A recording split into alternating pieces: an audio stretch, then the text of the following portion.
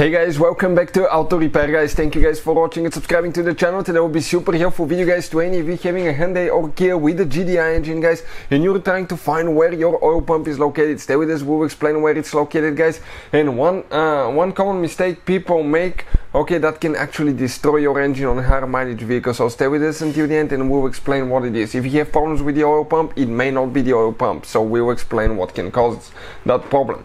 Before we start let me just tell you a little bit about us. Every single car we get at the garage we try to make at least 2 to 300 free repair videos. Why we do that? Simply because our mission in the shop is to save you as much money as we can. All we need guys in return please subscribe to the channel like the video. That way we can keep providing this free information to you.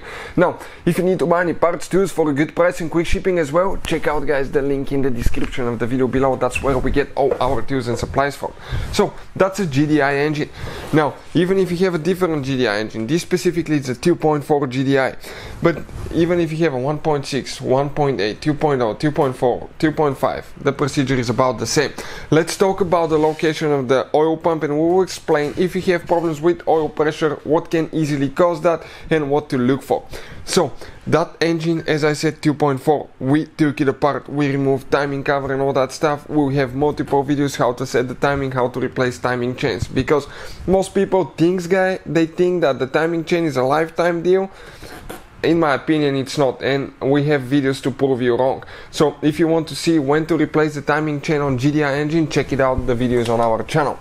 And if you look at it, you have the main timing chain. Okay, that's actually uh, moving the crankshaft from the crankshaft it goes to the camshaft okay and comes down. And then you have a secondary chain. That secondary chain is for the oil pump. But that oil pump is not oil pump only. You have a balance shaft in most cases as well.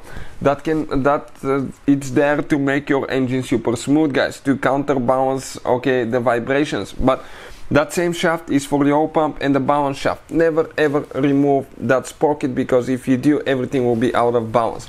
The, uh, we have a special video that explains how to remove and replace oil pump on GDI engine. That will teach you the correct way to do it. Now, if you look at it, that's the oil pump and that's the screen right here where it sucks oil and this right here is the balance shafts guys, they're pretty heavy. If you do not have oil pressure, check the oil screen, remove the oil pan, check the oil screen, make sure you don't have carbon buildup and it's not plugged up. Old engines and if you use cheap oil or haven't done enough uh, often oil change, it can build carbon buildup that can plug up the screen and that can cause your engine to starve for oil which can be critical and you can practically destroy your engine.